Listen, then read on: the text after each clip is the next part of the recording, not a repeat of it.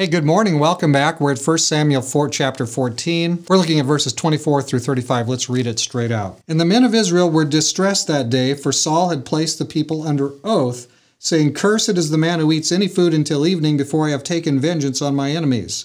So none of the people tasted food. Now all the people of the land came to a forest, and there was honey on the ground.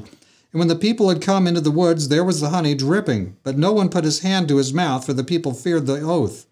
But Jonathan had not heard his father charge the people with the oath. Therefore he stretched out the end of the rod that was in his hand and dipped it in a honeycomb and put his hand to his mouth, and his countenance brightened. Then one of the people said, Your father strictly charged the people with an oath, saying, Cursed is the man who eats food this day. And the people were faint. But Jonathan said, my father has troubled the land. Look now how my countenance has brightened because I tasted a little of this honey. How much better if the people had eaten freely today of the spoil of their enemies which they found. For now would there not have been a much greater slaughter? Among the Philistines. Now they had driven back the Philistines that day from Michmash to Ajalon, so the people were very faint. And the people rushed on the spoil and took sheep and oxen and calves and slaughtered them on the ground, and the people ate them with the blood. Then they told Saul, saying, Look, the people are sinning against the Lord by eating the blood. So he said, You have dealt treacherously. Roll a large stone to me this day. Then Saul said, Disperse yourselves among the people and say to them, Bring me here every man's ox and every man's sheep, slaughter them here and eat, and do not sin against the Lord by eating with the blood.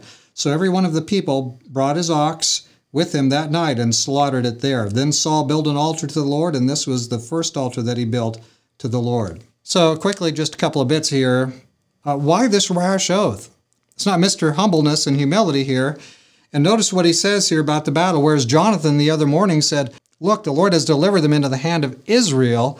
Notice uh, what he says Cursed is the man who eats any food until evening before I have taken vengeance on my enemies, me, Saul, my enemies. Well, yes, they're Saul's enemies, but they're the enemies not of, of just Saul, they're the enemies of all of God's people. So Saul's kind of making this a personal thing. Jonathan is, is seeing it on the big picture. And then notice that they can't eat until evening. Of course, from Hebrews, uh, compute the day from sundown to sundown. So this whole day they're doing battle, no stopping for any kind of food replenishment. So the people are faint. They come upon the honey. Jonathan takes his honey. Then he finds out there's some crazy oath, and he just says, Well, this was not a good idea. So then when you get to the end of the day, the people are, are just so hungry that they're breaking the, the kind of restrictions. They're not supposed to eat animals with the blood. So they've got to stop and sort all that out. That's just a problem. And Saul just made a mistake here along the way and he put everybody under oath. There's no reason for that, but that was kind of a personal thing, I think, for, for Saul. Jonathan's got the better plan, doesn't he? This is for Israel, it's not for me. Let's pray.